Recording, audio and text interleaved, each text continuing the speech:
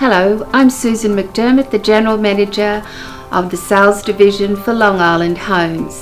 I'm here today to talk to you about soil conditions and the foundations when you build a new home. We speak to thousands of people each year who are very stressed about uh, what the site costs may be when building a new home. And I'm sure that many of you have heard in the media uh, about slabs cracking, um, heave they call it, um, waffle pod slabs, and this also puts a lot of stress on people when building a new home. What we're hoping to do is to help you understand the soil conditions in Australia and also the foundations when building your dream home. Today I have Brian Hooper with me. Brian has been within the building industry for over 40 years and also teaches a diploma of building and construction. Brian is here to help us understand soil classifications. Welcome, Brian. Glad to be here, Susan. Our aim is for you to help us to understand the uh, site classifications. Now, we hear things like reactive soil. Okay, the word reactive actually refers to the way the soil conditions uh, react when induced uh, through changing moisture content and changing activity from un unstable weather conditions to be able to glean how uh, how react, a structural engineer has to actually test the soil in the area because it does vary from area to area. So the engineers go to the site, they actually uh, do diggings on the site, and uh, from that, from those drillings, are actually able to maintain samples of the soil and the type of moisture content that's involved in that. Now, from those testings which they do to AS2870, which relates to the design of the slab and foundations, from there they're able to design a foundation that will suit your, your particular house style based on the soil conditions that are underneath it.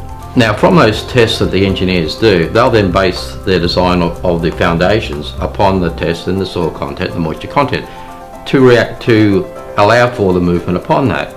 Now how that's done and how that's done well will determine how well your house will be in the future. If these tests are not done correctly, you can then actually have a rise to a whole heap of potential problems.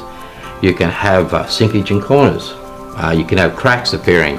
Uh, you can actually have, then have heaving, which you hear a lot about in the newspapers, mm. is where the slab actually buckles under the pressure of the soil movement underneath. This is pretty serious stuff, Brian, isn't it? It is very serious stuff, and the, the things that we hear about in the media are all actual happenings. Yes. Is it only reactive soil that um, creates these challenges when building a home, Brian? No, you actually have to address it right across the line. Um, silty soils, uh, clay, obviously clay contents we've already discussed, even gravelly soils, or a mixture of all these can all have the potential for movement if not designed and addressed correctly. There's a lot of site classifications. Would you be able to take our viewers through those classifications, Brian? Certainly, Susan, we will do that. Let's look at the classifications as per the Australian Standards 2870. In Class M or MD, which is a 20 to 40 millimetres of movement, these are classified as moderate reactive, clay or silt sites. They may experience moderate ground movement as a result of soil conditions and moisture changes. In class H1 and H1D, there are 40 to 60 millimeters of movement. These are highly reactive clay sites and can experience a high amount of ground movement as a result of soil conditions and moisture changes. In class H2 and H2D, where there is 60 to 75 millimeters of movement, these are highly reactive clay sites and may experience very high ground movement as a result of soil conditions and moisture changes. Now what is approximately 70% of all building sites in Australia is a Class P, which are classified as problem sites. This is where the ability of the soil to evenly bear a load is very poor.